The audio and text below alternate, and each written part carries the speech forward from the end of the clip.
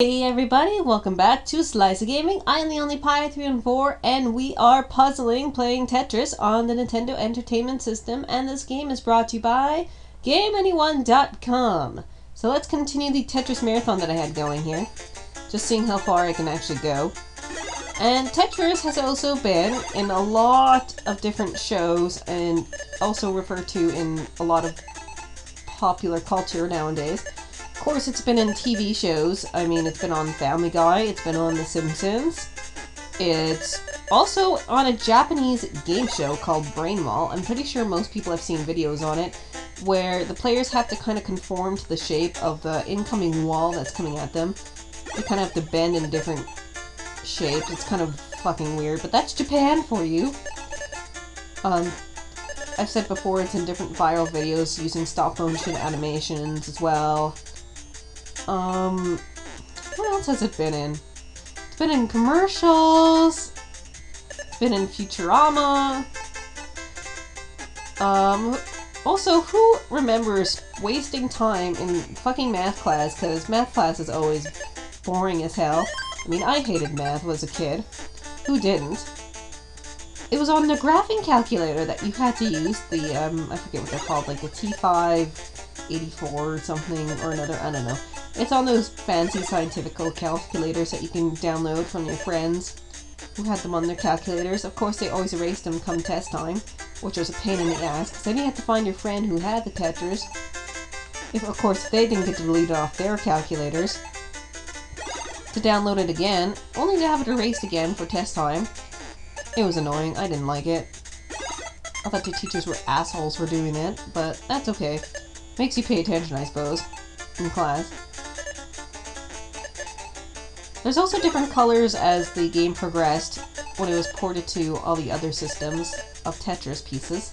Hey, come on, I don't want any more of these asshat pieces. I'm getting a stack, which is never a good thing.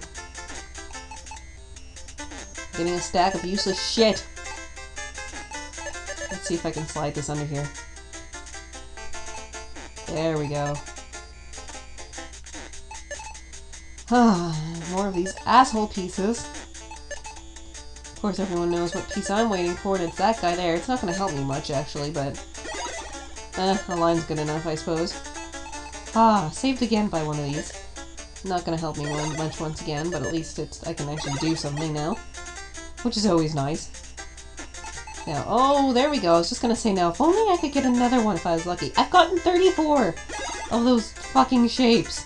Make that 35. Ah, God damn it, stupid S-shaped pieces.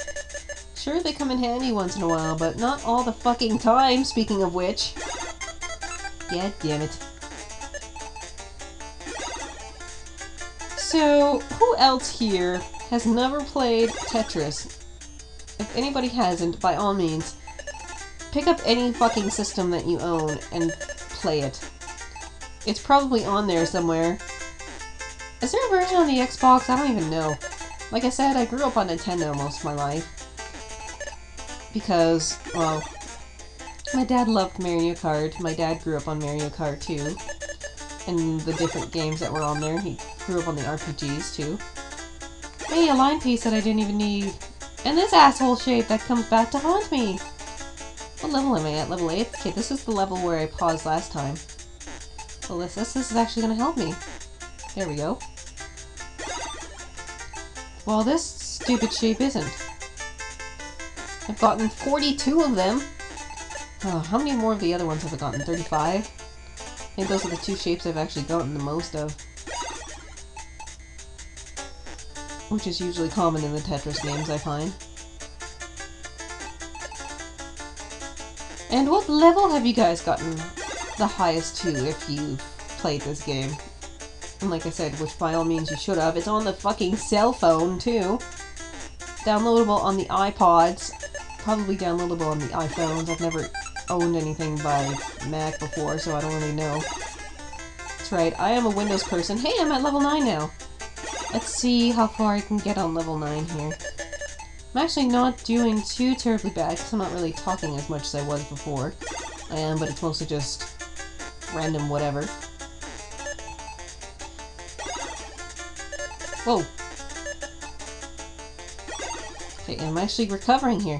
Remember when I had that whole freaking stack of those stupid shapes that I couldn't do anything with? Now that I've had 48 of them fall down on me. Oh, I could actually use one of them. I'm 49 now. Stupid shapes. Alright. See, now is the time when you don't panic. You just carefully place your pieces ever so slowly onto the board. Make sure you don't screw up.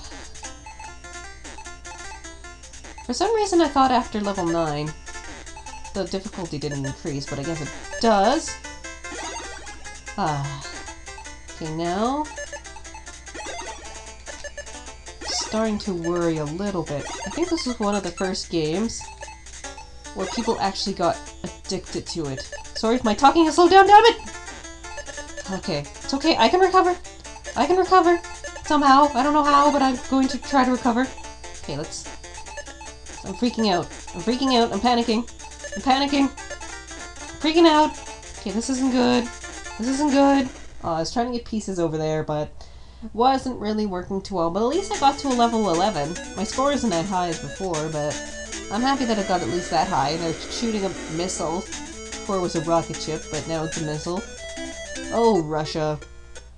Well, I'm happy that I got this high anyways. Uh, what can we name it here?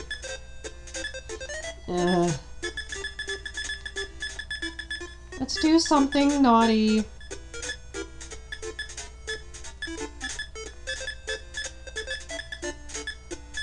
We go.